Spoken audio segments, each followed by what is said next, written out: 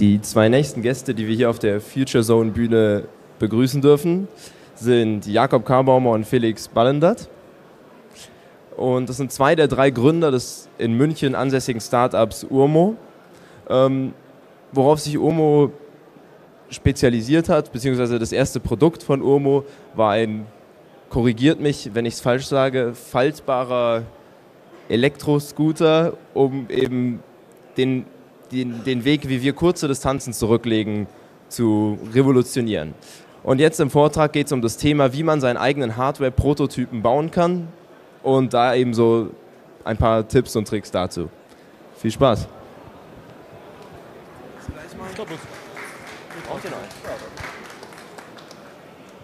Ja, danke für die nette Einleitung. Ähm, wir hatten eigentlich gedacht, wir machen den Vortrag in Englisch, weil das vielleicht für mehr Leute funktioniert würden ihn aber auf Deutsch machen, weil wir gemerkt haben, dass fast alle hier Deutsch sprechen. Ist es so in Ordnung? Hat irgendjemand was dagegen? Oder habt ihr es nicht verstanden, wenn wir es jetzt auf Deutsch gefragt haben? ja, genau. Also, ähm, wir sind hier zwei der drei Gründer des Startups Urmo aus München. Das ist der Felix und ich bin der Jakob. Und über die letzten drei Jahre haben wir ein bisschen unsere Vision verfolgt, den Verkehr in den Städten von morgen zu verbessern. Und wie man sowas machen kann, da gibt es super viele Lösungen. Man kann Apps programmieren, die die Verkehrsplanung verbessern und so weiter. Wir sind aber beides Maschinenbauer und deswegen war es für uns eigentlich klar, dass wir ein Hardware-Produkt bauen müssen. Und ein zentraler Punkt von einem Hardware-Produkt, das man auf den Markt bringen möchte, sind irgendwann diese Prototypen, die man bauen muss, um Leute zu überzeugen, um Werbung damit zu machen und natürlich, um sein Produkt auch zu testen. Und wir haben über die letzten Jahre da echt viel gelernt, viel mitgenommen und das wollen wir heute ein bisschen mit euch teilen. Dass wenn ihr einen Prototypen bauen wollt, sei es für private äh, Projekte oder für Uni-Projekte oder in eurem Startup, dass ihr da schneller vorankommt, günstiger vorankommt und am Ende einen besseren Prototypen habt. Jetzt schauen wir uns erstmal ganz kurz an, ähm, was wir da eigentlich gebaut haben und warum wir quasi qualifiziert sind, euch heute da Tipps zu geben. Das ist der Urmo. Und der Urmo ist ein selbstbalancierendes Elektrofahrzeug. Das kennen vielleicht einige von euch vom Segway. Ähm, das heißt, es ist sehr intuitiv zu steuern, ähm, es macht Spaß und ist vor allem super intuitiv zu fahren. Das Besondere am Urmo ist, dass er super leicht ist, super klein ist, große Reifen hat und der Faltmechanismus. Man hebt es also einfach hoch und mit nur einem Handgriff klappt sich das Ganze zusammen. Das ist einer von unseren Prototypen. Das ist, glaube ich, die dritte Generation, die wir da gebaut haben. Ähm, funktioniert ganz gut meistens, war aber immer ein bisschen zickig. Und mit diesen Prototypen haben wir dann eben äh, ja, Wettbewerbe gewonnen, konnten tolle Fotos machen. Das ist unser erster Prototyp und waren letztes Jahr auch auf Kickstarter. Das kann nämlich auch ein großer Punkt sein, warum man Prototypen baut, wie ich vorhin angesprochen hatte, um Leute zu überzeugen. Wenn du Kickstartern willst, ist es inzwischen sehr viel strenger geworden als früher. Ja, man kann nicht mehr einfach nur eine Zeichnung hochladen und Renderings hochladen, sondern man muss zeigen, dass man ein Produkt hat, das wirklich funktioniert. Das heißt, Kickstarter fordert ungeschnittene Videos von einem an, wo man zeigen muss, dass das Produkt funktioniert und auch ein bisschen wie leistungsfähig das Ganze ist. Dafür braucht man also einen guten Prototypen. Der Titel des Vortrags war irgendwie 10 Top-Tipps, wie man bessere und günstigere und schönere Prototypen bauen kann. Wir haben ein bisschen overdelivered, wir haben nämlich sogar 11 Tipps für euch heute dabei und wollen jetzt einfach mal mit dem ersten anfangen. Als wir angefangen haben mit dem Projekt, Produkt und mit dem Projekt waren wir alles Studenten. Das heißt, Geld war irgendwie chronisch knapp, weil man wollte irgendwie was essen, man musste irgendwo wohnen und man wollte ab und zu auch ein Bier trinken. Trotzdem muss man, wenn man mit einem Prototypen anfängt, sich dafür ein gewisses Budget gönnen. Ja? Das heißt, auch wenn man privat arbeitet und das Ganze vielleicht mit dem Taschengeld von den Eltern finanziert, muss man sich ein gewisses Budget feststecken und mit dem Budget dann auch arbeiten. Ähm, wie man das Budget plant, ist eigentlich auch recht einfach. Man überlegt sich am Anfang ungefähr, wo man hin muss. Ähm, das ist so der eine Weg, schaut, was für Bauteile man braucht und kalkuliert es dann ein bisschen ein. Ein anderer Weg, ähm, das Budget irgendwie festzuplanen, ist, dass man sich überlegt, okay, wie viel ist einem dieser Prototyp wert oder wie viel Geld habe ich denn überhaupt zur Verfügung? Wenn ich als Startup in einem Förderprogramm drin bin und dort irgendwie vielleicht einen Sachmittelgutschein über 1000 Euro habe, bringt es nichts, wenn ich sage, okay, ich brauche jetzt 10.000 Euro für diesen Prototypen. Da muss man die Ansprüche ein bisschen runterskalieren und eben mit diesen 1000 Euro so weit wie möglich kommen. Und es macht auch keinen Sinn, eben alles versuchen, möglichst billig zu machen, weil dann werden die Prototypen am Ende nicht gut, haben nicht die Leistungsfähigkeit, die man sich erwartet und so weiter. Und damit kommen wir auch gleich zum zweiten Punkt eigentlich. Und zwar die Unterteilung in Design- und Funktionsprototyp. Ähm, wir hatten unseren ersten Prototyp gebaut und der hat wunderschön ausgeschaut, aber er konnte nicht fahren. Aber warum konnte er nicht fahren? Weil es ganz egal war. Unsere Technologie soll nicht zeigen, dass wir selbstbalancierend fahren können. Unsere Technologie zeigt, dass es geht, ein leichtes, kleines, klapperes Fahrzeug zu bauen. Fahren, das hat der Segway super vorgemacht. Das ist nicht die Kernmessage unseres Prototyps gewesen. Und deshalb ging es nur darum, zu zeigen, wie das Ding klappen kann. Und mehr konnte der Prototyp auch gar nicht. Und dafür hat es genau gereicht.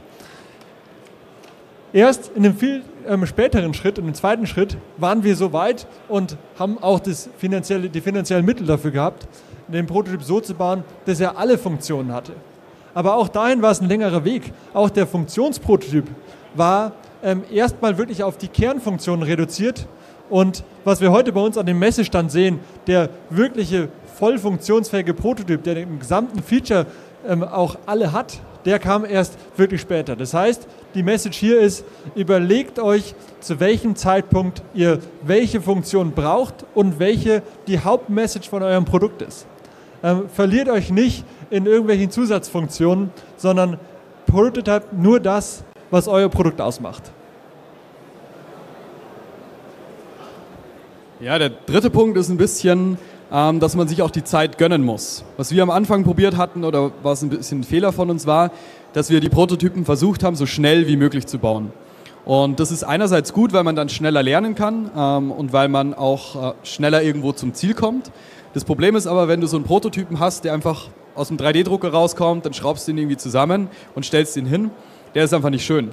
Und das heißt, du kannst niemals tolle Bilder mit dem machen, du kannst niemals den irgendwelchen Pressefotografen hinstellen und du kannst damit auch niemals zu Investoren gehen und denen das zeigen. Weil die werden sagen, okay, du hast vielleicht eine coole Idee, aber wenn du es noch nicht mal schaffst, einen Prototypen zu bauen, der irgendwie anständig aussehen, warum kannst du das Produkt fertig bauen? Warum wirst du später ähm, das Produkt fertig entwickeln können und so weiter? Mach dir doch erstmal die Mühe, das irgendwie schön zu machen, dass man weiß, wie es später aussehen kann ähm, und dann reden wir weiter. Wichtiger Punkt ist auch, weil wir es vorhin angesprochen hatten mit den Design-Prototypen, nur wenn du ein tolles Design hast in deinem Produkt, werden es die Leute auch kaufen. Und du kannst diese Design-Message, ja, wie verlaufen deine Linien, ähm, wie sehen deine Lichter aus, wie sehen einzelne Materialien aus, das kannst du nur rüberbringen, wenn du den Prototypen schön machst.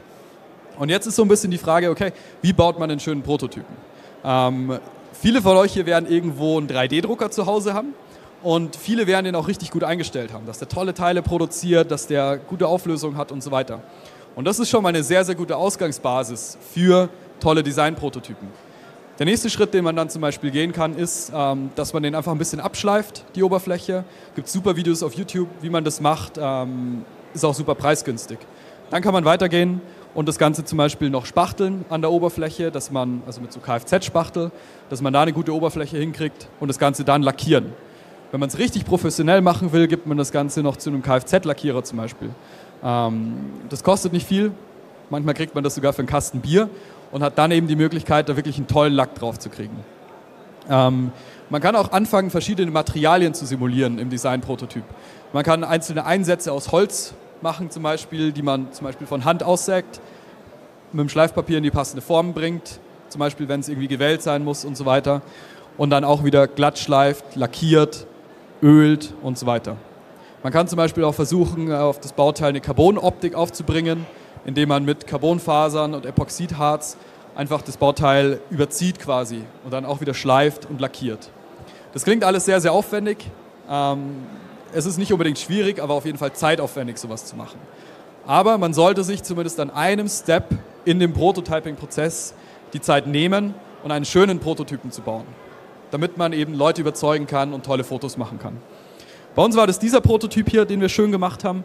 Der ist eigentlich auch komplett ähm, 3D gedruckt. Ist eigentlich auch komplett 3D gedruckt, aber wir haben es eben geschliffen, gespachtelt und dann mehrfach lackiert, um eben hier zu zeigen, wie die Reflexionen laufen. Wir haben hier sogar dann LEDs eingebaut. Wir haben hier ähm, echte Reifen eingebaut und nicht nur 3D gedruckte Reifen, um eben einen wirklich guten Look und Feel von dem Produkt zu haben. Und das würde ich euch einfach empfehlen, dass ihr versucht, geile Prototypen zu bauen, die gut aussehen, ähm, auch wenn es mehr Zeit und mehr Geld kostet. Und es geht schon weiter und auch über in den nächsten Punkt. Ähm, macht ihr einen Plan und das ist komplett in einer Linie auch mit dem ersten Punkt. Legt ihr ein Budget fest. Ähm, nehmt eure Projekte ernst. Macht nicht kurz mal, hey, noch schnell das mal was basteln. Ich habe da mal was gesehen, will ich mal kurz irgendwie zusammenstecken. Macht euch Gedanken über das, was ihr machen wollt. Und zwar so, dass ihr sagt, okay, ähm, das ist das Ziel, da bin ich hin, dafür gibt es das und das Budget, auch wenn es eben nicht viel ist, ähm, sondern ich plane einfach durch, was ich habe und welches Ziel ich habe damit. Ähm, einen Plan machen geht aber noch viel weiter. Ähm, wir haben das auch wirklich auf die harte Tour lernen müssen, glaube ich. Ähm, erinnere ich mich nämlich noch an unseren ersten Funktionsprototyp, wo dann auch die ganze Elektronik drin war. Wir haben das alles sauber durchgeplant und im CAD gehabt und dann 3D gedruckt und ähm, ganz tolle Teile gehabt. Aber wir haben Sachen nicht fertig gedacht. Und das gehört auch ganz klar dazu, ähm, zu einen Plan machen. Zum Beispiel waren unsere Kabel gar nicht im CAD mit drin. Kabel konstruieren macht viel Arbeit, kennt man vielleicht. Aber es sind diese ganzen Überlegungen, die, ja, ah, der Mustern ist irgendwie angeschraubt. Ah, ja, das überlege ich mir dann, wenn ich es zusammenbaue. Oder ja, klebt man dann irgendwie. Und genau so ist es nicht. Denkt durch, macht euch den Plan und zwar ähm, nicht nur von der Projektseite, auch von der Produktseite. Ähm, denkt alles durch. Wie kann man wirklich sauber Sachen befestigen? Ähm, diese ganzen Lösungen dann am Schluss noch irgendwo doch noch was ankleben, obwohl man davor schon im CAD war und dann einen 3D-Druck gestartet hat und eigentlich ein schönes Teil hat, aber dann doch wieder am Schluss irgendwie was nachträglich anbauen muss, weil man nicht sauber konsequent sein Ziel vor Augen gehabt hat, was man realisieren will und ähm, dafür eben auch keinen Plan gemacht hat. Unser neuester Prototyp ähm, ist wieder auch erstmal nur ein Design-Prototyp aber da ist jedes Kabel, jede Montage genau so vorkonstruiert und beschrieben, ähm, dass wir über Montagekonzepte Bescheid wissen, dass wir einfach das dann auch am Prototyp lernen können und da wieder ähm, neue Erkenntnisse daraus ziehen können. Aber einfach alles sauber durchgeplant zu haben.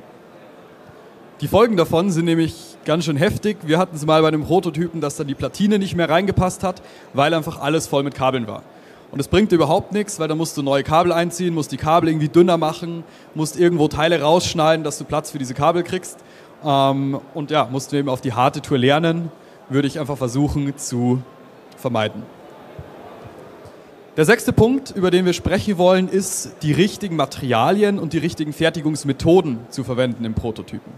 Ähm, wenn man sich hier rumschaut, rumschaut, sieht man eigentlich eine Vielzahl an Fertigungsmethoden. Man sieht in der einen Ecke Lasercutter, man sieht CNC-Fräsen, man sieht 3D-Drucker, man sieht ähm, Lasercutter, die Holz schneiden, die Acrylglas schneiden und so weiter. Und das ist eigentlich eine super Ausgangsbasis, um Prototypen zu bauen, weil man sich der verschiedensten Materialien ähm, bedienen kann. Das Problem ist da, dass man, dass man genau wissen muss, welches Material setze ich für was ein.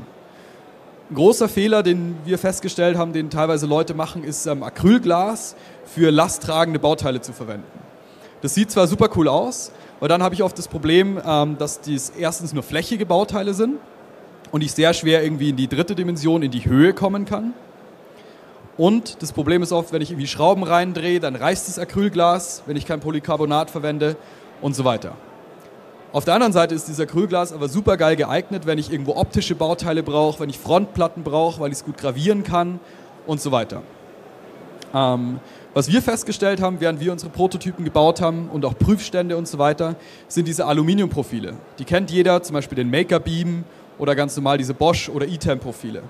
Ähm, die gibt es recht günstig online zu kaufen.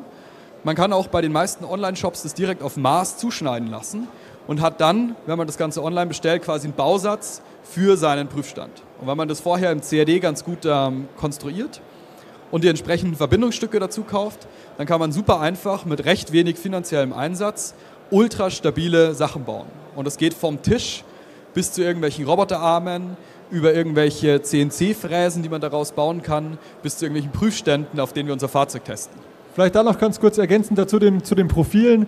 Ähm, wir haben zum Beispiel einen eigenen 3D-Drucker gebaut für uns, der ähm, auch in der Größe gern mal gut zwei von diesen Fahrzeugen auf einmal drucken kann, ähm, auch aus Profilen. Und es war auch wieder eine Budgetsache. Wir hatten nicht das große Budget für den Drucker Ähm, und das Teure an den Profilen sind nämlich gar nicht die Profile, die kosten pro Laufmeter unterschiedlich ein paar Euro. Das Teure waren die Verbinder. Und wir haben in unserem ganzen 3D-Drucker nicht einen Verbinder gebaut, weil wir es einfach sauber geplant hatten, ähm, weil es eben auch sehr, sehr viele Tricks gibt, wie man mit einfachen Normteilen ähm, diese Profile zum Beispiel auch verbinden kann. Also Schrauben, Winkel etc. Und das ist viel günstiger, wie wenn du die, die fertigen Verbinder oft kaufst. Was dann vielleicht ein bisschen fortgeschrittener ist, ähm, ist die Verwendung von Verbundwerkstoffen, also Glasfaserverstärkter Kunststoff, Kohlefaserverstärkter Kunststoff. Ähm, ist sicherlich eher für die Fortgeschrittenen hier unter euch. Es gibt auf YouTube super Tutorials, wie man das genau anwendet. Da ist halt das Besondere, dass man in der Vorumgebung sehr, sehr frei ist und dass man so zum Beispiel ein Blechteil, das äh, mehrdimensional gebogen ist, wie zum Beispiel eine Motorhaube oder irgendeine Abdeckung, sehr, sehr einfach prototypen kann weil ich im Gegensatz zu einem Blechbauteil kein sehr großes Werkzeug brauche, um das tief zu ziehen oder zu stanzen, sondern weil ich mir das Werkzeug, also meine Form, einfach 3D drucken kann, schleifen kann, spachteln kann und dann auf diese 3D gedruckte Form meine Fasern legen kann und mir so das Bauteil herstellen kann. Aber wie gesagt, das ist eher ja, ein fortgeschrittenes Verfahren. Und jetzt ist doch die Frage eigentlich, wie entscheide ich mich für das richtige Material und das richtige Herstellungsverfahren? Dazu muss ich einerseits wissen, wie sieht mein Bauteil aus. Ja, ist es einfach ein flaches Bauteil, dann nehme ich vielleicht lasergeschnittenes Holz oder Polycarbonat oder sowas. Ist es vielleicht ein ähm, flächiges Bauteil, das aber mehrdimensional gewölbt ist, wie zum Beispiel eine Motorhaube, eine Abdeckung oder sowas. Dann kann ich probieren, das aus glasfaserverstärktem Kunststoff zu bauen. Oder ist es ein super komplexes Bauteil, an dem ich von mehreren Richtungen ähm, Sachen anschrauben muss. Dann entscheide ich mich vielleicht dazu, das Ganze 3D zu drucken weil ich da alles in ein Bauteil vereinen kann. Und dann stellt sich dann final die Frage, okay, wie stelle ich das Ganze her? Tue ich meine, meine Blechteile, tue ich die fräsen, tue ich sie laserschneiden? Mit welchem 3D-Druckverfahren drucke ich das? Und das ist vielleicht nicht nur abhängig von dem, was ideal ist, sondern auch von dem, was ihr natürlich zur Verfügung habt. Vielleicht hat euer FabLab eine CNC-Fräse und dann fräst ihr die Holz- oder ähm, die, die, die Polycarbonat-Teile natürlich aus. Wenn ihr einen Lasercutter habt, könnt ihr sie damit schneiden. Also auch da ist wieder das, das, das Thema, das beste Werkzeug ist das, das du zur Verfügung hast. Es bringt dir nichts, wenn du sagen kannst, hey, ich mache das so, so, so, das ist die perfekte Lösung, wenn du es da nicht herstellen kannst. Das ist auch was, was wir hart lernen mussten. Wir hatten super tolle Lösungen, konnten sie dann aber nicht herstellen, weil wir die Werkzeuge nicht haben. Das heißt, lieber gehst du irgendwie ein bisschen mehr Arbeit ein, dafür kannst du es herstellen.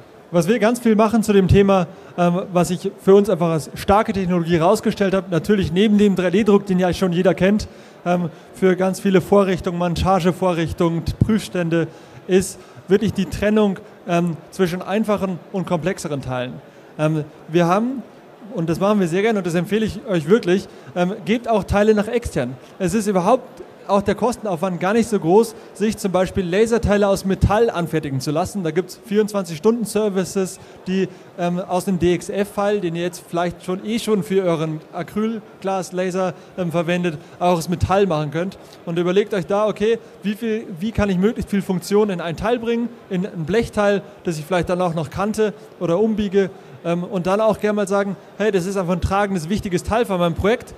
Ähm, und dann auch gerne diesen Schritt gehen, das kostet jetzt 30 Euro und dafür lasse ich mir dieses Teil lasern, ohne dass ich da groß an den, an den teuren Werkzeugbau oder den Anlagenbauer denke. Das sind wirklich Services, wo man seine Bauteile hochlädt, sein DXF-File und dann auch ähm, ein sauberes Stahlteil kriegt, das wirklich lastgerecht ist und dann eben wieder materialgerecht.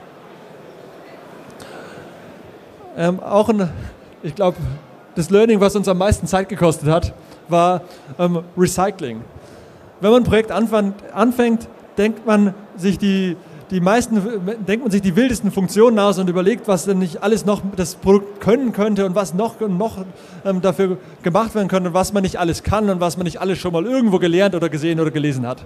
Ähm, Recycling ist da für uns das Stichwort. Unser, wir haben hier versucht, am Anfang gleich große Motorsteuerung und ähm, Logik einzubauen, ähm, Messtechnik und alles Mögliche. Ähm, Im ersten Prototyp hätten wir viel früher sagen müssen, hey, ganz egal, wir kaufen einfach einen Motorregler zu. Den gibt es am Markt, der funktioniert und der kann auch genauso unsere Anforderungen. Und da wirklich wieder auf den Nutzen vom Prototyp eingehen und sagen, ich recycle das. Genauso ein Thema Batteriepacks.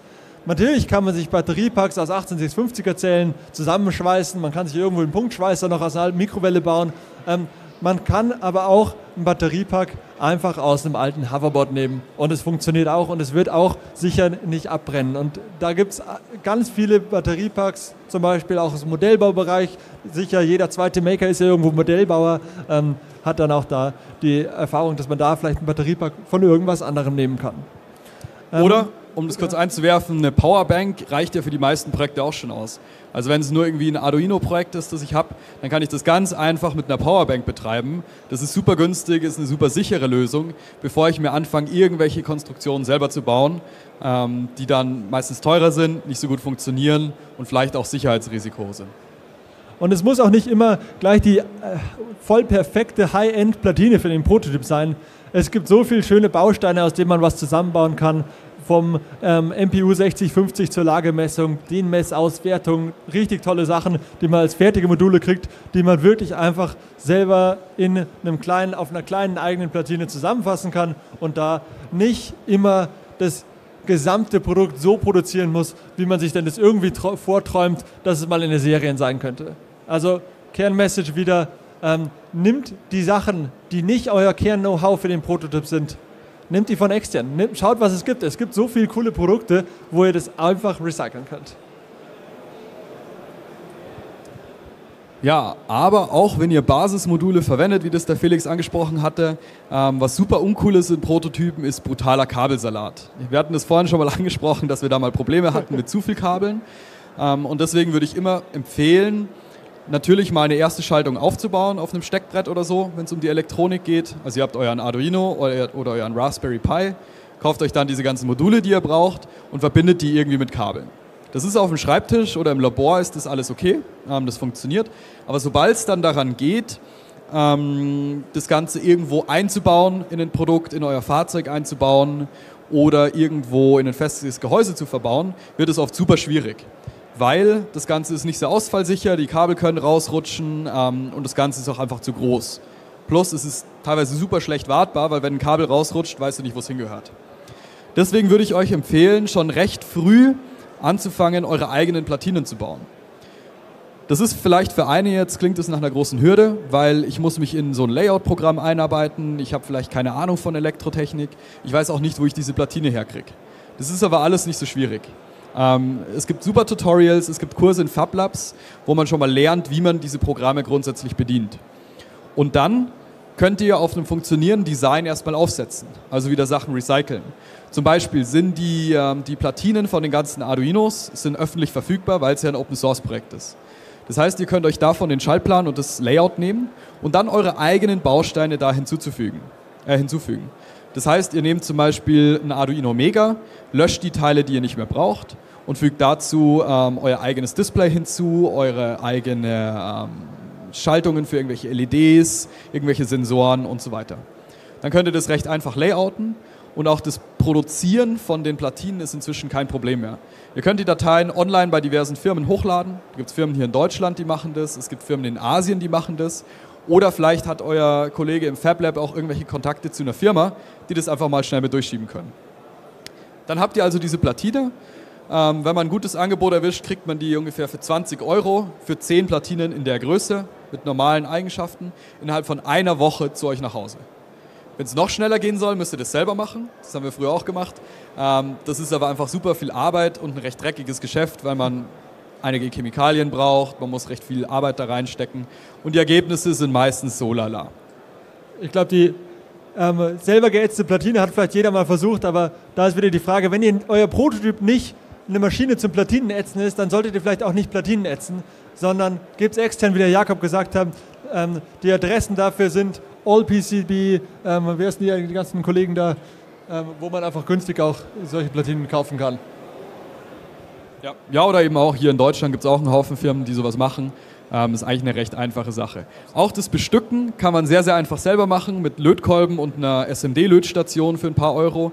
Ähm, man muss da eben nicht gleich zum Wirt gehen und das Ganze dort fertigen lassen, weil das ja auch wieder ein Aufwand ist, um die ganzen Dateien bereitzustellen und so weiter. Das heißt, gerade bei kleineren ähm, Produkten, kleinere Stückzahlen, ist es kein Problem. Ähm, denkt an die Wartbarkeit und die Zukunft von eurem Prototyp. Leider ist es nie so und auch bei uns nicht, und jetzt haben wir schon viele Prototypen gebaut, die funktionieren meistens am Anfang nicht so richtig toll. Ähm, und da muss man Sachen dran ändern. Und dafür ist es einfach sehr, sehr wichtig, dass ihr euch dafür schon Gedanken gemacht habt und nicht das hundertste Kabel in das Breadboard reingesteckt habt, damit es da eh schon von alleine fast wieder rausfällt. Sondern anständig Kabel konfektionieren, Stecker vorsehen, die man wieder austauschen kann. Ähm, einfach nicht denken, dass ihr ein Serienprodukt baut, was ja übermorgen so in Serie gehen könnte. Es ist immer noch ein Pro Prototyp, das heißt, Stecker vielleicht an zwei Positionen vorsehen, wenn ihr schon eine Platine macht, Lötpads und Stecker vorsehen, Messpunkte vorsehen an Platinen, ähm, die euch einfach im Prototyp gar nichts kosten. Ähm, wenn ihr wirklich mal ein Serienprodukt machen wolltet, wolltet ähm, könnte man sowas immer noch wegrationalisieren. Aber der Schritt kommt erst viel später. Wieder zu unserem Prototyp, unser erster Funktionsprototyp. Ich weiß es noch, es war ein Wettbewerb und ähm, die Oberschale war verklebt mit der unteren und wir hatten die über Nacht verklebt und am Wettbewerb standen wir das erste Mal drauf und er hat zum Glück gehalten und funktioniert, aber die Woche drauf war er kaputt und wir mussten die Elektronik austauschen und die Schale war verklebt. Naja, dann mussten wir es wieder aufschneiden, war überhaupt nicht wartungsfreundlich und mittlerweile hat der Prototyp, es gibt ihn noch, aber er hat wahnsinnig viele Löcher mit irgendwelchen Deckeln drauf und wir haben es einfach nicht durchgedacht und einfach nicht fertig überlegt, wie man sowas auch warten könnte. Ähm, genauso ver vergießen, verkleben, wenn was dicht sein muss, ihr baut einen Unterwasserantrieb. Ähm, die Lösung ist nicht, den gerade so funktionierenden Prototyp einfach einzugießen. Denkt wirklich an den nächsten Schritt, wie ihr das auch reparieren könnt. Ja, und weil wir gesagt haben, dass Prototypen nie perfekt sind, baut ruhig mehrere Prototypen. Also geht gar nicht her am Anfang und sagt, hey, ihr baut das finale Produkt jetzt, ihr baut die eierlegende Wollmilchsau. Ich glaube, das Bild beschreibt es eigentlich ganz gut. Ähm, nichts, auch wirklich gar nichts, ist perfekt von Anfang an. Und so wird es auch bei euch sein, weil einen Prototypen zu bauen ist eigentlich ein wandelnder Prozess. Ja, während du den einen Prototypen dann zusammenbaust nach deiner Konstruktion, fallen dir schon wieder 100.000 Dinge auf, die du im nächsten anders machen musst. Deswegen sucht euch was Kleines raus für den Anfang, versucht die Hauptfunktionalitäten abzubilden und verrennt euch nicht in irgendwelche Details. Fangt nicht beim ersten Prototypen an und sagt, ja, wir bauen das noch ein, das, das, das und das. Das wird nicht funktionieren, weil dann wird der erste Prototyp nie fertig. Deswegen am Anfang Basisfunktionalität einbauen, Prototyp aufbauen, testen, ob alles funktioniert wenn ja, ist es gut, dann nehmt ihr das einfach und fügt die nächsten Funktionalitäten hinzu. Und wenn ihr das immer weiter iteriert, habt ihr irgendwann ein super Produkt. Ähm, dann zu unserem letzten Punkt Nummer 11. Erstmal baut eure Prototypen fertig. Ich glaube, ganz viele haben Prototypen zu Hause liegen, die man mal angefangen hat, angefangen hat und die nicht fertig geworden sind. Weil man sich genau in den Themen verrannt hat. Man hat sich verrannt, das Projekt nicht sauber zu planen. Man hat sich verrannt im Funktionsumfang oder man hat sich verrannt in den Kosten. Man hat nicht sauber, äh, man war sich nicht bewusst darüber, was man baut und wie man es zu Ende baut. Aber wenn ihr es dann schafft, euren Prototyp sauber, zu, sauber fertig zu haben, ist es noch nicht vorbei. Es geht weiter mit der Dokumentation davon macht während des Prototyps natürlich Fotos, während des Bau Fotos davon, aber ähm, gerade Learnings, die ihr hattet, wie schauen Gerberfiles aus, wenn man eine Platine macht? Ähm, was für Erkenntnisse hatte ich ähm, in der Mechanik? Schreibt euch solche Sachen auf, dass ihr sie beim nächsten Mal auf jeden Fall wieder wisst und dass ihr dann nicht das Projekt so macht, wie wahrscheinlich auch unsere am Anfang waren. Man baut irgendwo einen Modellflieger, er fliegt, man schmeißt ihn, er geht kaputt und dann fängt man wieder von vorne an. Sondern nimmt die Erkenntnisse auf und auch die Dokumentation ist Teil von einem guten Projekt. Ja, das war es soweit von unserer Seite. Ähm, wir hoffen, wir konnten euch da ein bisschen was weiterbringen. Wenn einer von euch jetzt irgendwie sagt, okay, das klang irgendwie ganz spannend, was die beiden da machen in ihrem Startup, wir suchen immer Leute, die mit uns mitarbeiten. Ja, das heißt, ähm, festangestellte Leute, falls ihr eine Abschlussarbeit in der Uni schreiben wollt, falls ihr ein Praktikum sucht, meldet euch bei uns. Ähm, das ist nur ein kleiner Auszug der, der Leute, die wir suchen. Wir bringen wahrscheinlich alle von euch unter. Und nachdem ihr euch jetzt den langen Vortrag angehört habt, könnt ihr euch definitiv ein Bier aufmachen und, falls ihr noch Fragen habt, immer her damit. Ganz genau, gibt's. Applaus.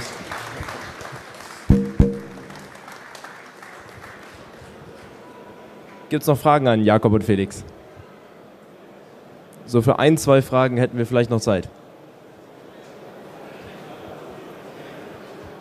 Nein, ich denke, dann stehen die Jungs gleich beim Gehen sicher nochmal, falls noch was aufkommt, für, Fra zu, äh, für Fragen zur Verfügung. Genau, wir haben auch unseren Messestand da vorne noch, da haben wir dann auch die Prototypen dabei und da können wir auch sicher noch mal ein bisschen detaillierter über die Prototypenfertigung wirklich auch reden. Ähm, wir sind hier vorne den Gang runter auf der rechten Seite. Gut, vielen Dank. Ja, danke.